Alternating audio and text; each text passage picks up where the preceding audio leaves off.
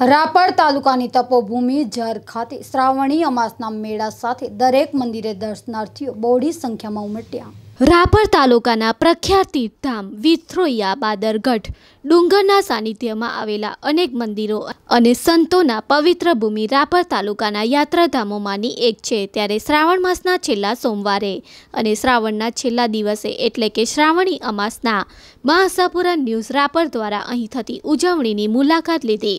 ત્યારે ભાતીગળ સંસ્કૃતિ સાથે અનોખી તાસીર ધરાવતા આ તાલુકાના શ્રદ્ધાળુઓથી ઉભરાઈ રહેલા આ મિની ગિરનારની શોભા કંઈક અલગ જ લાગી રહી હતી. આઝાદીના ઇતિહાસમાં જેનો યથા યોગ્ય ફાળો રહ્યો છે એવા તાતા ટોપીએ અહીં સંન્યાસ બાદ ભભૂત ગીરી બાપુના નામે વર્ષો સુધી અહીં તપસ્યા કરીને આ ભૂમિને ગૌરવ અપાયું છે.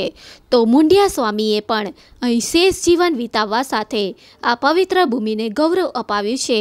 તો હાલે પણ વનપ્રસ્થ સંન્યાસી અમૃતગીરી બાપુ દ્વારા અહીં સિંહ દ્વારા આશ્રમ જડેશ્વર મહાદેવ ખાતે અનેકવિધ સેવાઓ સાથે ખાસ કરીને જીવદયા ક્ષેત્રે એમનું યોગદાન નોંધપાત્ર રહ્યું છે. ધોરેશ્વર મહાદેવ મંદિર, કે જ્યાં આજે શ્રાવણી અમાસ નિમિત્તે મેળો ભરાય છે. ત્યાં ગિરીશગીરી બાપુ દર્શનાર્થીઓ રોટલા અને ઓટલાની વ્યવસ્થા પૂરી પાડી રહ્યા છે. આ ધોળેશ્વર મહાદેવ મંદિર વિશે એવું કહેવાય છે કે અહીં પાંડવોએ કરેલા તપથી સ્વયંભૂ પાંચ લિંગ પ્રગટ થયા હતા, જે આજે પણ મોજૂદ છે. અને આ પ્રકારના શિવલિંગ સંભવત આખા ગુજરાતમાં કદાચ ક્યાંય તમને જોવા નહીં મળે. એ નિશ્ચિત છે. એનાથી સહેજ આગળ જઈએ એટલે ટપકેશ્વર મહાદેવ આવે જ્યાં ભભૂતગીરી બાપુનો ધૂણો આજે પણ તપી રહ્યો છે. અહીં પણ મહંતની માનવ સેવા નોંધનીય હોવા સાથે ભભૂતગીરી બાપુના તપથી આ મંદિરનો મહિમા દૂર દૂર સુધી પહોંચ્યો છે. જમનેશ્વર મહાદેવ કે જ્યાં જમાનામાં નામના વૃદ્ધ સંન્યાસીની તપ કરી રહ્યા છે. એમના ભજનમાં કોઈ ભંગ પાડે એ એમને ગમતું ન હોય. અહીં વાર તહેવાર સિવાય ભીડ ઓછી જોવા મળે છે અને છેલ્લે વિથ્રોયા મહાદેવ ડુંગરની તળેટી પર આવેલા આ ભવ્ય મંદિરે લોકો હાંફી જવાય એટલા પગથિયા ચડીને પણ દર્શન કરવા પહોંચી જાય છે. આ સાથે અહીં રવેચી મંદિરે સુરેશગીરી બાપુ વાલભાઈ માના ભોયરે ધના બાપા ભક્ત અને બીજા સંતો અને ભક્તો વિશે ફરી ક્યારેક મળશું. સ્ટોરી બાય ઘનશ્યામ બારોટ મા આશાપુરા ન્યૂઝ રાપર.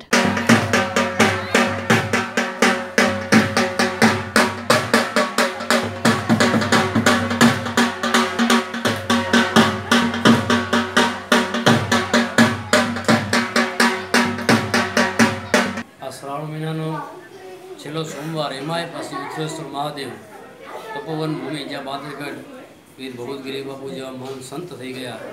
અને વિથુલેશ્વર મહાદેવ આજે પણ ગામડો ગામથી ઘણા લોકો અહીંયા આવતા હોય છે. અને મહાદેવ કને એમની ભક્તિ કરીને અને મહાદેવ એમના હરેક સંકટ દૂર કરી અને સુખ અને શાંતિની પ્રાપ્તિ કરાવતા હોય છે.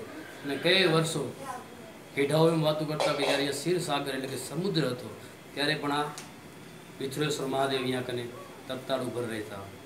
અને છેલ્લા મહિના સોમવારના છેલ્લા મહિનાની દરેક મિત્રોને શુભકામના ભગવાન ધોરેશ્વર મહાદેવનું મંદિર આ બાદરગઢ પૂજ્ય બાપુની તપોભૂમિ જે ભગવદગીરી બાપુએ ભજન કરેલું અને મિની ગિરનાર કહેવાય.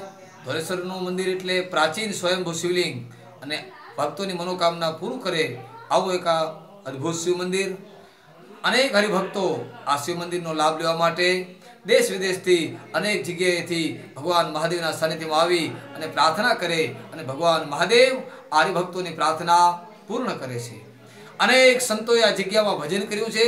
અનેક હરિભક્તો દૂર દૂરથી આ જગ્યા ઉપર દર્શન કરવા માટે આવે છે. આ જગ્યાનું વિશેષ મહત્વ એ છે કે આ પાંચ શિવલિંગ એ સ્વયંભૂ છે. ભગવાન મહાદેવને અલગ અલગ પ્રકારના હરિભક્તો આવી અને પ્રાર્થના કરે છે. ભગવાન એમની મનોકામના પૂર્ણ કરે છે. આજે શ્રાવણ માસનો છેલ્લો દિવસ, અમાવાસ, અને આ અમારે ધોરેશ્વર મહાદેવના મંદિરમાં નીલપર બાદરગઢ ગોવિંદપર ખીરઈ પાલનપર આ પાંચ ગામનું મંદિર આવેલું છે. એની અંદર શ્રાવણ મહિનાના છેલ્લા દિવસે આદિ અનાદિથી લોકમેળો ભરાતો આવે છે. આ વર્ષે ચોમાસું પણ સારું જતા આ મિની ગિરનાર સમા પંચમુખી મહાદેવ અહીંયા આવેલા છે.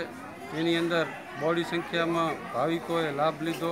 મૃત્યુંજય મહાદેવ ત્રાહિ મામ શરણાગતમ, જન્મ મૃત્યુ જરા વ્યાધિ, મુચંદૈ કર્મ બંધનમ ત્રંબકમ યજામહે સુગંધિમ પુષ્ટિવર્ધનમ ગૃહારુકુમિવ વંદનાન મૃત્યુર્મુક્ષીય મહામુતાત અત્રે જે ન્યૂઝ ચેનલના આવ્યા છો તો જે વિથુયા ડુંગર આજે કચ્છની અંદર રાપર તાલુકાની અંદર એક મિની ગિરનાર તરીકે પ્રખ્યાત છે અને અહીંયા અનેક સંતો મહાત્માઓ તપસ્યાઓ કરી ગયા છે જેની આજે પણ આપણને અંતરથી આત્માથી જ્યારે ડુંગરની અંદર પ્રવેશ કરો, ત્યારે આપને ખરેખર એક ઝાંખી થશે, એક અનુભૂતિ થશે કે મહાત્માઓની જે સિદ્ધિ આજે પણ તમને એ ડુંગરમાં જોવા મળશે.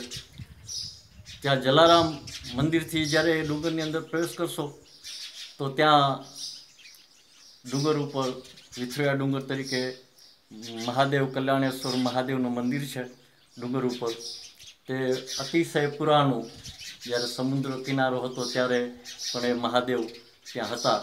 તે પછી નીચે આવશો તો એક જમનેશ્વર મહાદેવ જે માતાજી ત્યાં છે, ત્યાં બેઠા છે.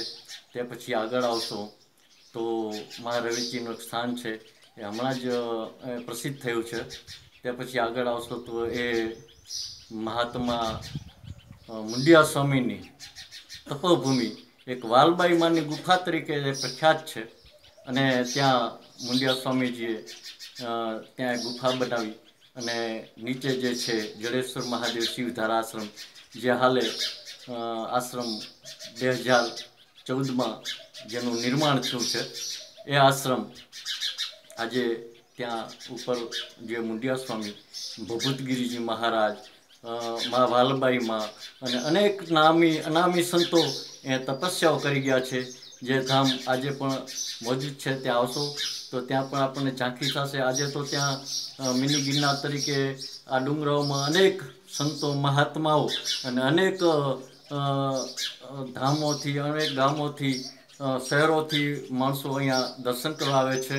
પછી આગળ જશો તો ભગવદગીરીજી મહાત્માની ગુફા આવે છે જે ટપકેશ્વર નામે પ્ર- પ્રચલિત છે. પછી અહીંયા નજીકમાં આવશો તો ધોરેશ્વર મહાદેવ, જે પાંચલિંગ તરીકે પ્રખ્યાત છે. અને એનો ઇતિહાસ એમ કહે છે કે પાંડવોના વખતમાં અહીંયા મહાદેવ પ્રગટ થયા છે. અને જે જૂની જળ તરીકે જે શિવધારા આશ્રમ જે અત્યારે મોજૂદ છે, એ એનાથી પણ એક પ્રચલિત, જેનો આજે પણ કોઈ ઇતિહાસ નથી કે કેટલા વર્ષોથી આ શિવાલય છે.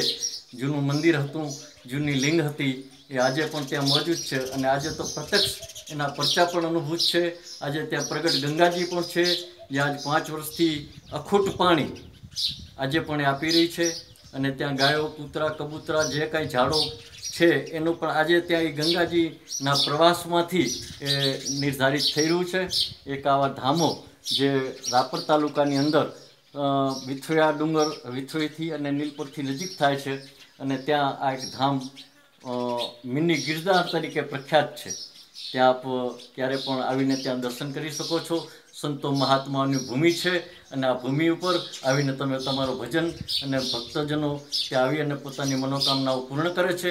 અને આજે શ્રાવણ મહિનામાં તો અત્યારે અનેક ગામોથી, શહેરોથી પબ્લિક ઉમટી રહી છે અને એ ધામ આજે પણ બધા જ ધામો દર્શનીય અને પૂજનીય છે. ત્યાં જરૂર અવશ્ય દર્શનનો અને મહાત્માઓની ભૂમિનો, પાવન ભૂમિમાં દર્શન કરીને પાવન થવા માટે જરૂર ક્યાંક સમય મળે ત્યારે પધારજો.